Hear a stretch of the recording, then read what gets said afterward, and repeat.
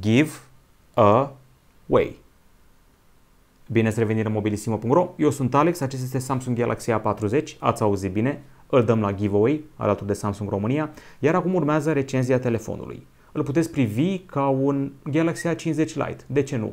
Cu cameră duală, dar păstrează ecranul Super AMOLED. Mai compact, mai mic, vedeți cum vine în palmă și avem norocul de a avea chiar nuanța coral, cea inedită. Nici albastru, nici negru, nici alb, ci coral. Un telefon cu ecran Super AMOLED, o baterie care a făcut o impresie frumoasă și uh, hai să vedem ce mai poate acest telefon în minutele următoare. Urmează recenzia sa și da, îl dăm la giveaway, iar regulile le aflați în linkul din descrierea acestui clip YouTube sau le puteți asculta la finalul acestei recenzii. Să trecem deci la treabă review-ul lui Samsung Galaxy A40.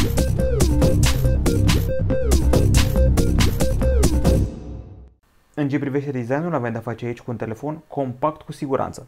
Un telefon care încape foarte plăcut într-o singură mână, se cuibărește în palma utilizatorului și nici nu alunecă. Are aderență ok, poate fi folosit foarte rezonabil cu o singură mână și butoanele răspund ok la comenzi. Îmi place și coloritul acesta. Mă bucur că avem măcar unul dintre telefoanele Galaxy A de generație nouă pe coral, în afară de variantele care vin și pe negru, albastru sau alb. Aceasta este varianta coral. Dacă mă întrebați pe mine, un portocaliu pal, iar rama pare să fie un fel de cupru sau portocaliu închis. Telefonul este fabricat din material plastic, acel 3D Glastic, făcut să semene cu sticla și aș spune că este destul de convingător. Dacă vreți musai cifre, 7,9 mm în talie și cântărește un rezonabil 140 de grame. Îmi dă senzația uneori de un fel de Galaxy S10e, mai comod, mai compact și din material plastic de această dată. Alte lucruri de menționat, aș spune că avem un telefon aici un pic mai comod decât Galaxy A50 sau A70 prin prisma dimensiunilor sale. Trecem acum la display. Samsung nu s-a zgârcit aici, avem un Super AMOLED de 5,9 inch cu rezoluție de 2340 pe 1080 de pixeli și aspect de 19,5 pe 9. Protecția Gorilla Glass este bifată și hai să vedem și clasicul nostru clip de test ca să ne facem o idee cum arată experiența video încadrăm imaginea pe ecran, a spune că avem niște culori bine calibrate, foarte vii în același timp, un ecran luminos, se descurcă bine și în bătaia soarelui, rămânând lizibil, un ghiurlaj de vizualizare, contrastul nu e rău deloc, negrul este adânc, deci absolut nimic de obiectat.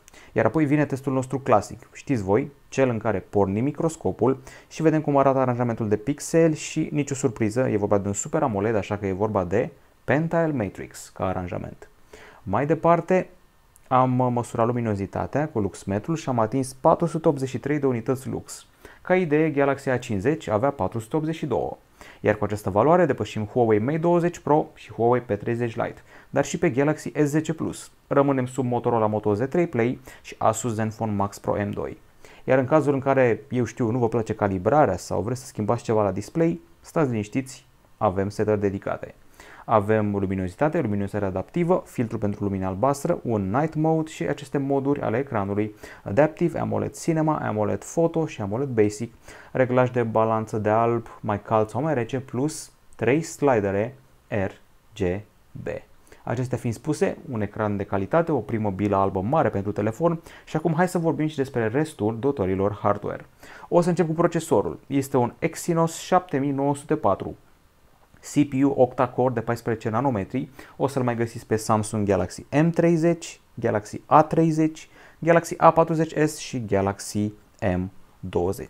Telefonul dispune de 4 GB de RAM, 64 GB de stocare, slot microSD și nu am remarcat să sufere de vreun pic de lag. Asta uh, la utilizarea de zi cu zi.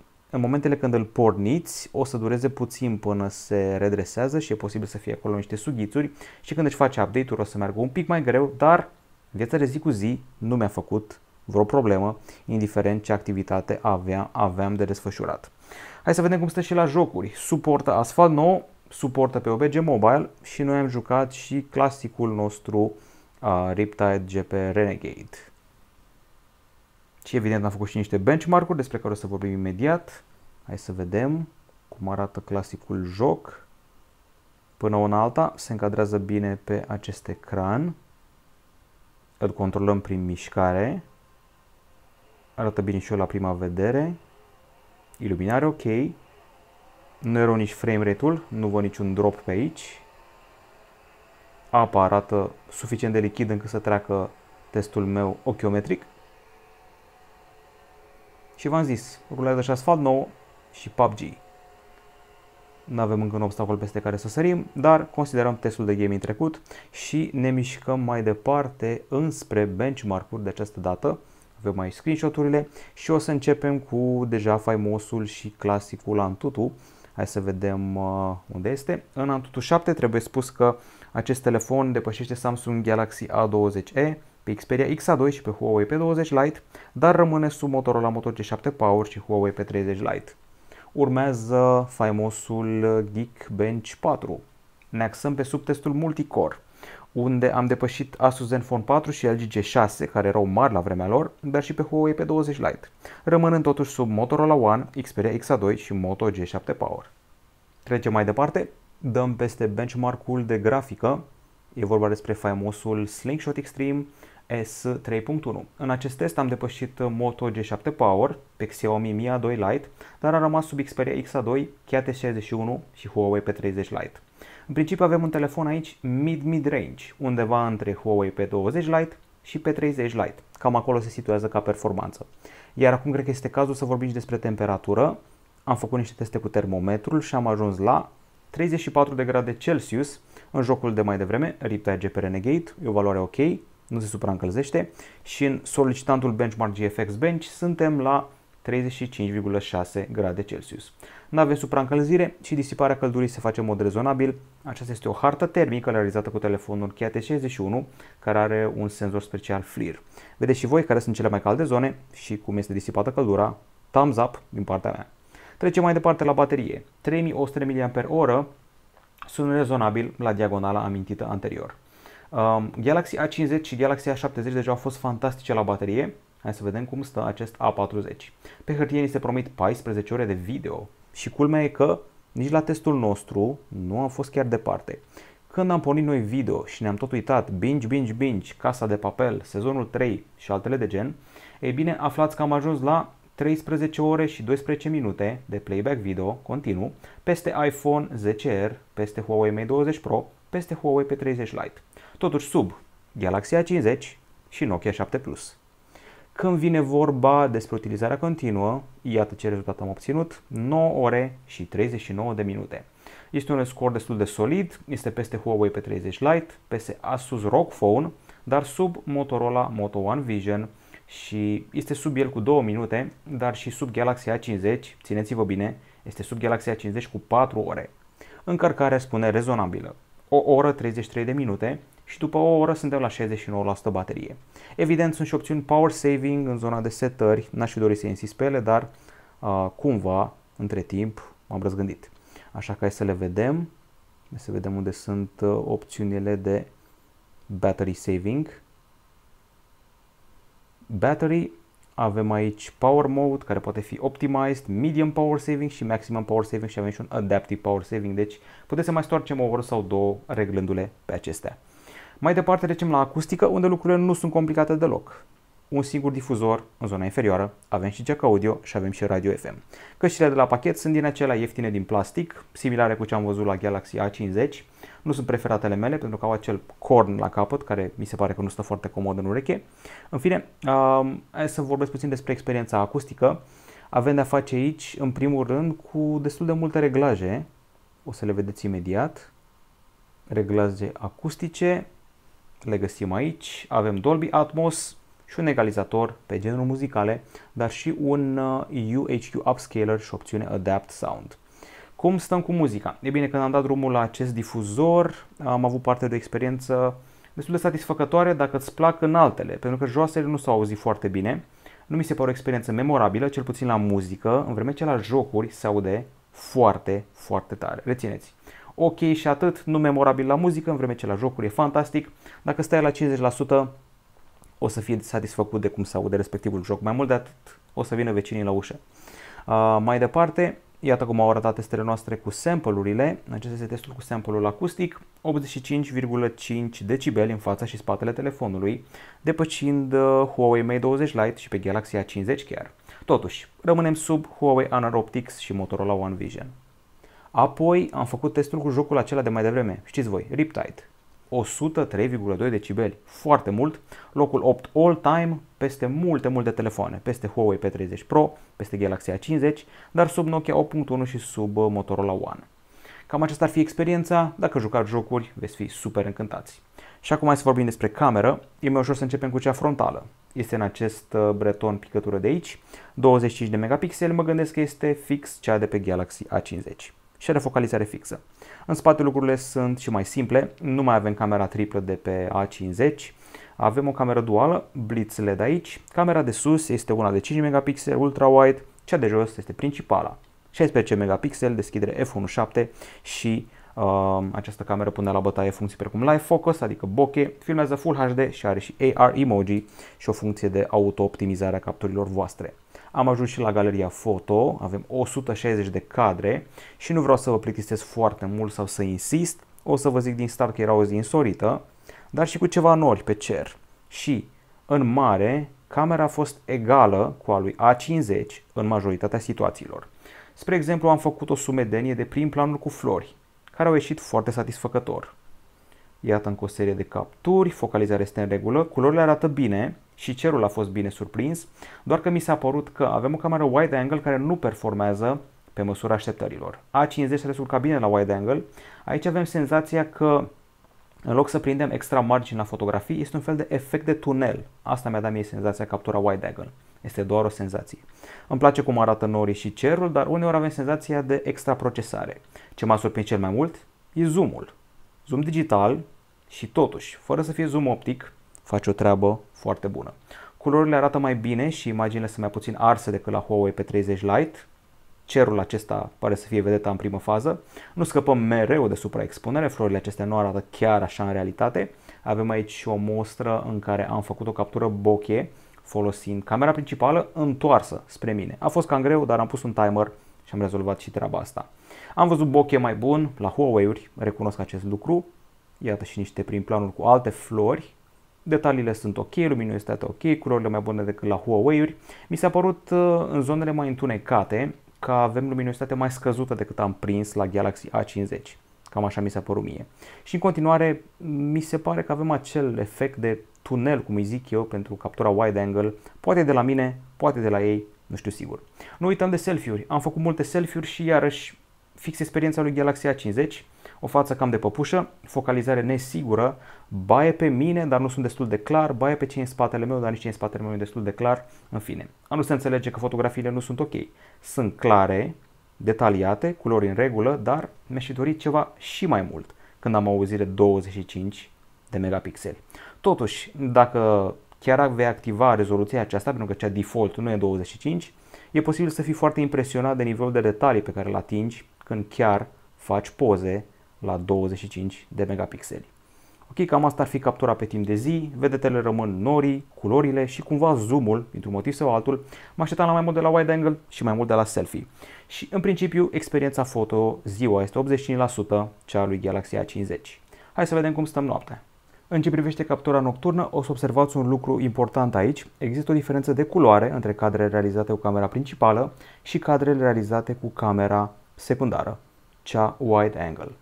Fotografiile cu camera principală sunt rezonabile, aș spune, pentru zona mid-mid-range, dar atunci când facem trecerea la camera wide angle, apare o nuanță un pic mai roșiatică și nu sunt chiar cele mai viabile poze pentru a crea amintiri pe timp de noapte. Foto standard și foto wide, unde lucrurile devin un pic cam roz sau mov.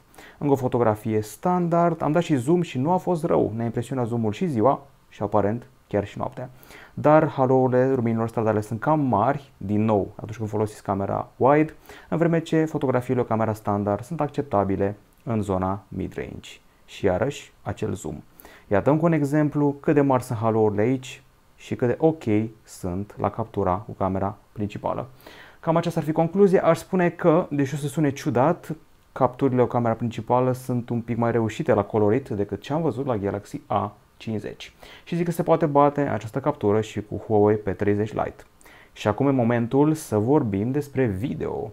Filmare Full HD, MP4, la 30 de fps, 17 Mbps bitrate și hai să vedem cum arată. Lucrurile sunt foarte simple pentru că avem 9 clipuri mari și late. Hai să începem cu acesta o luăm de la început.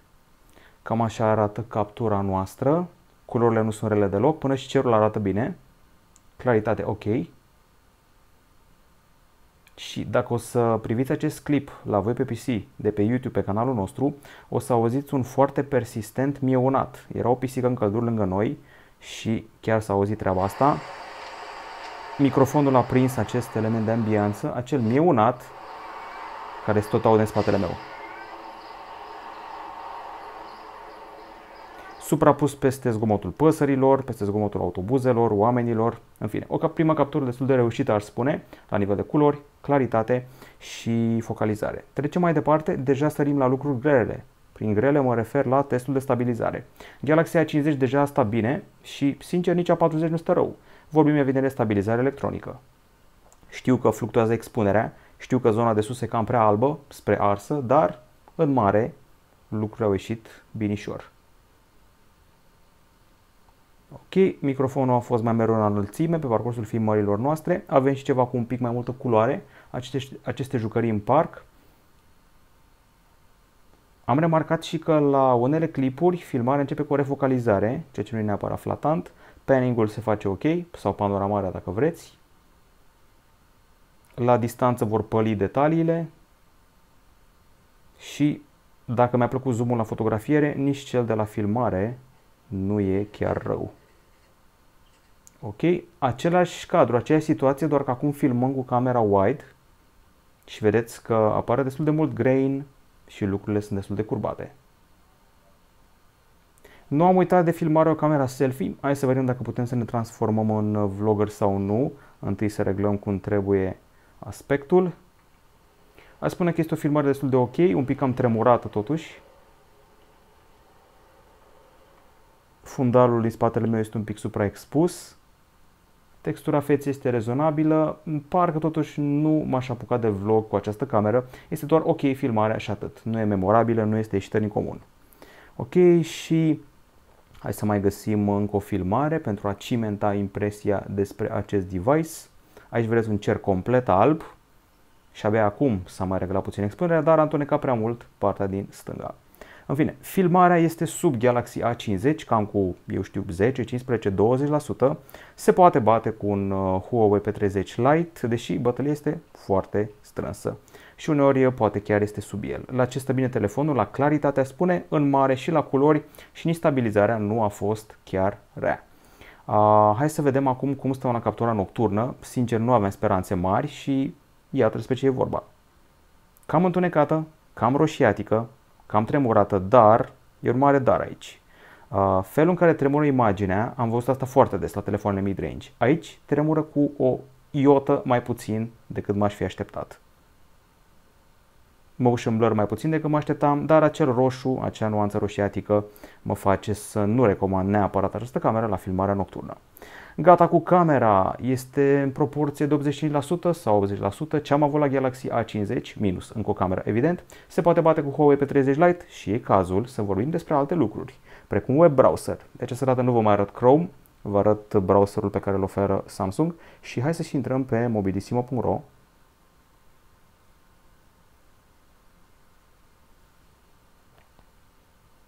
Cam așa arată site-ul nostru în acest uh, web browser.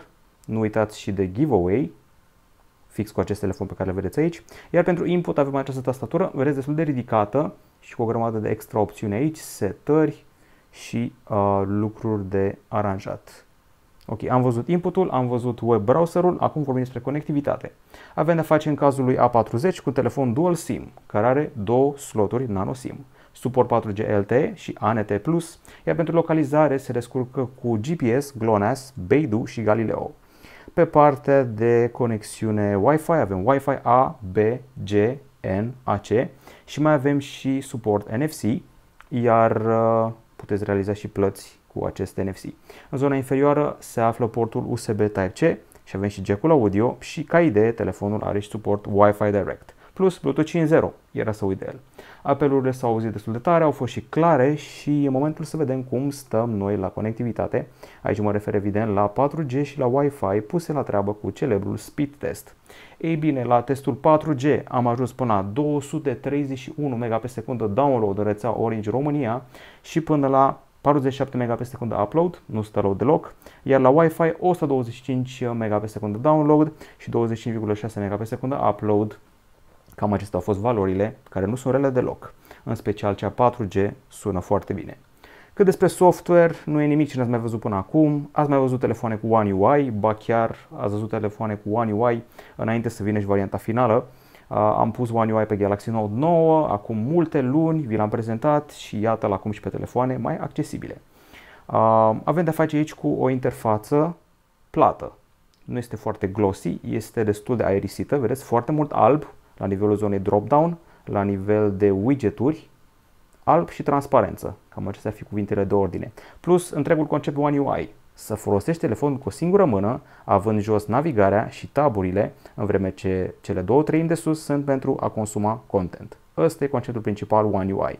Bixby primește în continuare zona asta de agregare, unde găsești informații utile, știri, pași, teme, gifuri, recomandări de restaurante, playlist de Spotify și altele de gen. În rest avem uh, multitasking-ul care se face sub forma acestor ferestre scrollabile și mai avem și, dacă vreți, split screen sau opțiunea pop-up care putem să mutăm uh, fereastra unde vrem noi pe ecran și să schimbăm dimensiunea. Uh, alte lucruri de menționat aici, hai să vedem, swipe în jos și ne oferă acces la notificări și Quick Settings, iar în Quick Settings putem să găsim repejor și faimosul Night Mode care trece la un fundal negru, schimbă contrastul, schimbă nuanțele, așa încât uh, să nu ne mai dăuneze la ochi și să nu mai consume așa multă baterie după apus telefonul și interfața sa. Se întâmplă o modificări și la nivel de browser, ați văzut și bara aceasta de căutare și în Bixby și alte câteva zone. Ok, acesta este faimosul Night Mode, am văzut și multitasking-ul, o experiență destul de curată și aerisită, aplicată peste Android Pie, iar uh, mai departe cred că e cazul să vorbim uh, despre niște setări. Aici o să găsim opțiunile de conectivitate, display, wallpaper și iată și zona de securitate. Aveți deblocare facială, dar și cititorul de amprente din spate este pus la treabă. A spune că este un pic cam lent, se apropie de 2 secunde ca durată de deblocare, dar în același timp precis. Ok, alte lucruri de menționat, digital well-being, ca să vezi cât timp petreci dacă e prea mult pe Facebook sau pe YouTube și să pui și niște limite device care, general management și alte funcții de gen, utilizarea cu singură mână, smart pop-up view, putem să și reducem animațiile dacă vrem o funcționare mai fluidă. Și era să uit, avem și câteva opțiuni, putem să înlocuim aceste butoane navigaționale cu gesturi swipe ca să mai câștigăm niște spațiu pe ecran.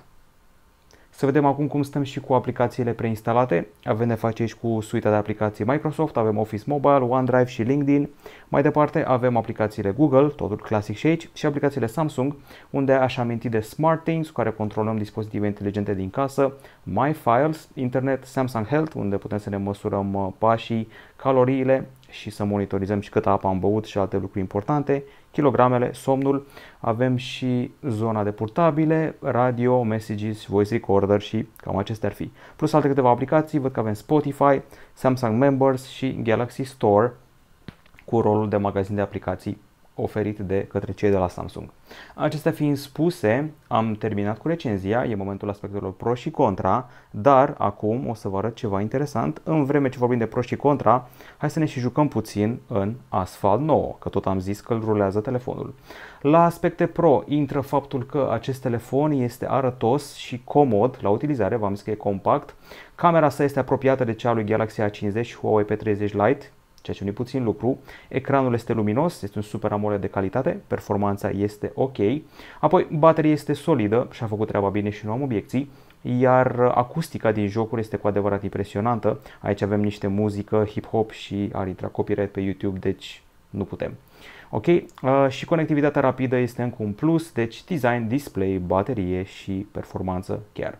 Acestea sunt aspectele pro, vorbim despre aspectele contra acum aș spune că volumul la muzică putea fi un pic mai generos și că există câteva fotografii exagerat de procesate, Mi s-a părut și că avem un mic efect de tunel la captura ultra-wide. Selfie-urile au fost uh, de nivel mediu, aș spune, aș să fie un pic mai bune, deși fusese oarecum avertizat după cum au arătat selfie-urile de la uh, Galaxy A50 și un pic de refocalizare mai apare în videouri din când în când. Deci cam acestea ar fi neajunsurile telefonului. În principiu un Galaxy A50 Lite, așa îl putem porecli pe A40, se poate bate cu Huawei P30 Lite la destul de multe capitole și în același timp o să-l cumpărați pentru ecran, baterie și unele jocuri, precum acest Asphalt 9. Este sub Galaxy A50 la captura wide, la selfie este cam tot pe acolo, iar la cameră în general îți oferă cam 80% din experiența lui Galaxy A50. Performanță ok pentru zona mid-range și este practic definiția conceptului de mid-mid-range. Galaxy A50 este un pic mai sus, Galaxy A20e este un pic mai jos în ierarhie. Și acum o să dăm și niște note. La design o să primească un 8,4, la display un 9, la hardware 8,5, benchmark 8, temperatură 10, baterie 9,2, audio un 8,2, iar uh, la cameră o să primească un 8,5. Conectivitate 9,2, OS și UI 9,3 și pentru preț o notă de 9. Avem de-a face cu un telefon care deja a început să se găsească la mulți retaileri chiar și sub 1000 de lei. Iar nota sa finală este de 8,84 din 10. Și da, avem giveaway, acest telefon poate fi al vostru.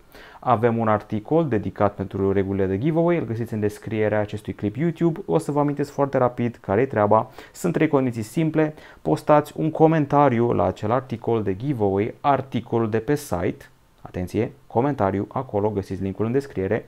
Regula 2, abonați-vă la canalul nostru de YouTube, mobilisimo.ro. Regula 3, share public la articolul de giveaway pe contul vostru personal de Facebook. Faceți apoi 3 capturi de ecran la aceste 3 lucruri, le trimiteți la concurs.mobilisimo.ro cu subiect giveaway Samsung Galaxy A40. Și este admisă doar o participare pentru o persoană, iar conturile special create pentru concurs vor fi excluse. Rețineți și că noi nu stocăm informațiile voastre, le ștergem după concurs, iar extragerea E bine, cineva o să aibă acest telefon și o să afle după extragerea de pe 14 august de la ora 21. Acesta a fost review-ul lui Samsung Galaxy A40. Spuneți A50 Lite dacă vreți, eu o să-i spun o alternativă solidă la multe telefoane, printre care și Huawei P30 Lite și un telefon bun să joci Asphalt 9, să vezi filme și de ce nu să asculti ceva muzică. Cam atât la mobilisimo.ro, la revedere!